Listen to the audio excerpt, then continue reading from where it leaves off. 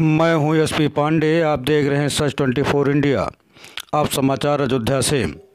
सहारा India परिवार region office Ayodhya से जुड़े कार्यकर्ताओं ने शनिवार को स्थानीय सांसद ललदीप सिंह को एक ज्ञापन देकर सहारा से भी मामले में हस्तक्षेप की मांग की है।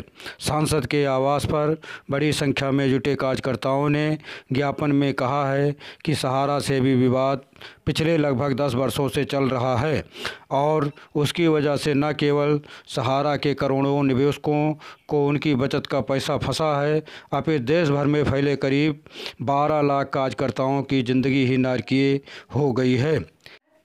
ज्ञापन में कहा गया है कि करोड़ों निवेशकों ने अपने अच्छे भविष्य के लिए छोटी छोटी बचत की थी ताकि वो पैसा उनके बच्चों की शिक्षा, शादी, विवाह के काम आ सके और बुरे वक्त में उनका सहारा बन सके।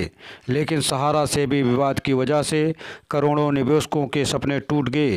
किसी के बच्चे की पढ़ाई रुक गई, किसी का परिजन पैसे के अभाव में बीमारी से मर गया तो किसी को बच्चों की शादी के लिए कर्ज लेना पड़ा।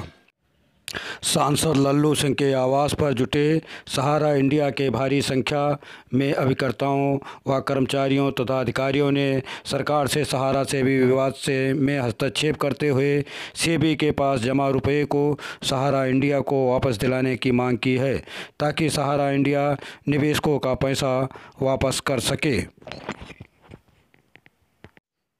पेश है पूरी रिपोर्ट।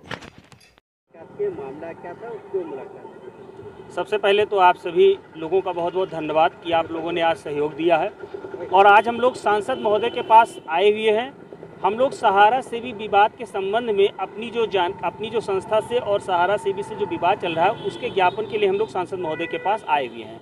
हम लोगों ने जो हमारी संस्था में 12 लाख हमारे कार्यकर्ता करते हुए कार्यकर्ता हैं और लगभग 10 करोड़ हमारे जो सम्मानित जमाकर्ता हैं, निवेशकर्तागण हैं। आज इन लोगों की रोजी रोटी और इन लोगों के जमाकर्ता जो जमा धन है, निवेश धन है, उस पर ग्रहण लग गया है, क्योंकि सहारा से भी विवाद में हमारी संस्था का पच्चीस हज़ार करोड़ रुपये जमा है।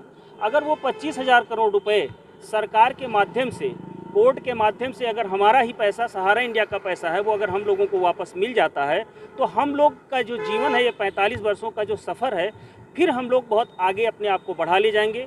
पूरे हिंदुस्तान में जमाकर्ताओं का विश्वास जो जमा हुआ है जो हम लोगों का धन सहारा इंडिया में जमा हुआ है फिर पुनः उन लोगों का विश्वास बढ़ जाएगा। एक उन लोगों को अपने निवेश का मौका मिल जाएगा पुनः और हमारे 12 लाख जो हमारे कार्यकर्ता हैं उनकी रोजी रोटी और 12 लाख उन लोगों के माध्यम से एक परिवार में पाँच लोग हैं तो 60 लाख लोगों का हमारा जो रोजी रोटी है जो उनका चूल्हा चौका है सांसद जी को दिया गया। सांसद जी ने कहा कि ये मुद्दा हम लोग बिल्कुल रूप से अपने संसद में उठाएँगे लोकसभा में उठाएँगे और अपने क्षेत्र की जनता का और अपने क्षेत्र की समस्या को लोकसभा में उठा करके और आप लोगों के सहारा से ही विवाद को हम लोग समाप्त करवाएँगे।